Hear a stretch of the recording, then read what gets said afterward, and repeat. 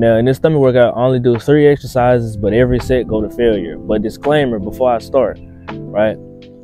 It's only three exercises, and while they will help you show your abs, their main purpose is for strengthening your core, getting your stomach muscles bigger.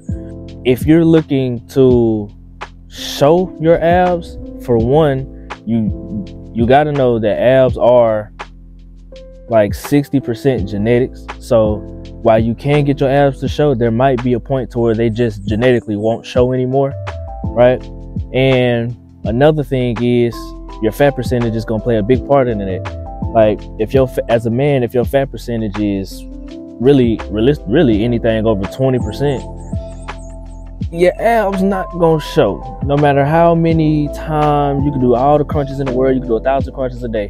If your fat percentage is high, your abs not gonna show. So if abs is something like that you really want to work towards, then lowering your fat percentage is definitely something you got to do and you got to keep in mind about the genetics.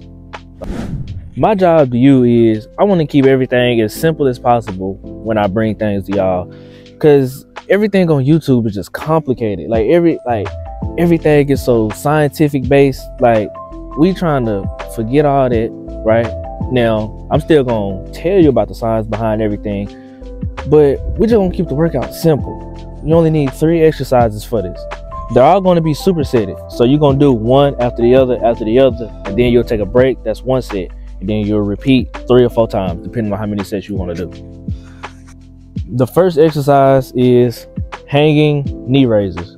Now, it'd be better if you do leg raises, but I mean, it's the same thing. So we just start with knee raises.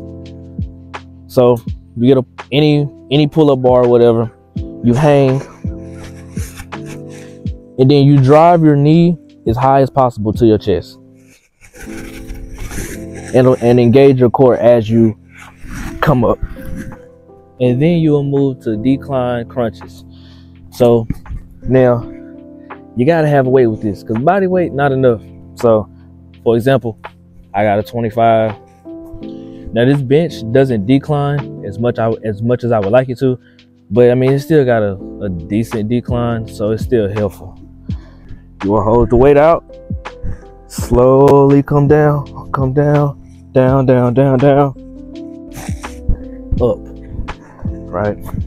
And the last exercise is ab rollouts. Now, me personally, I have an ab roller, right? But if you don't have an ab roller, you can take a bar, put weights on it, and then roll like that. So when you go down, slow. Everything is slow. Slow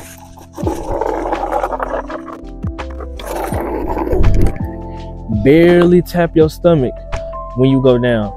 Some people do it, they rest on the ground, but that's taking away the tension in your stomach. So barely tap your stomach. I'm telling you, this workout will have your stomach burning.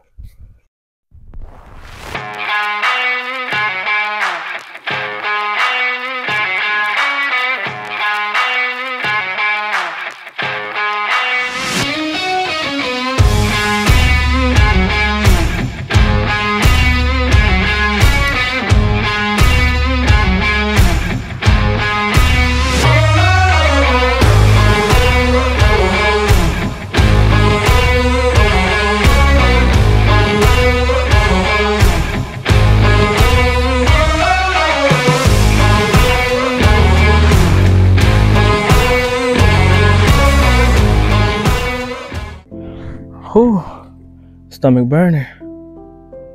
But to recap, basically, just keep everything simple.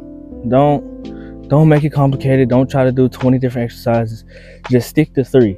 Even if it's not these three, you don't have to be these three. I just gave you three good exercises. But if you know any other ones, do those. Just keep it simple and drop your body fat percentage down and your abs will start showing. And with that, I'm out. God loves you.